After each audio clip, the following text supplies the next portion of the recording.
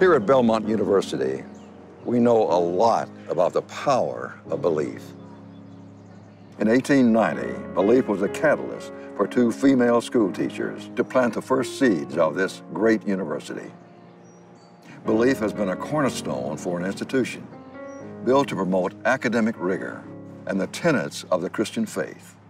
It has been a lamp to light our path in times of uncertainty, a hammer to break down walls of convention, and an engine driving us to achieve things never before so much as dreamed. All built on a foundational belief in God above and His plan for this institution. But as far as belief has carried us, it must be remembered that this same belief be carried forward to help us accomplish even greater things in the future.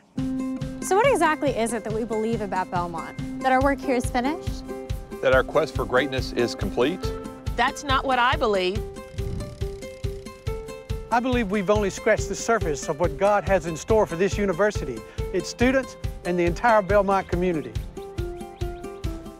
I believe that Belmont can become the top-ranked regional university in the Southeast. I believe we can redefine what it means to be a teaching institution.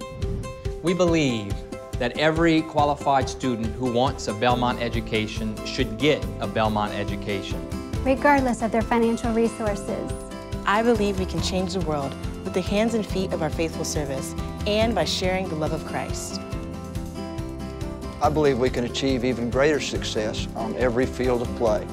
And with the right tools, we can attract the greatest talent in every field of study.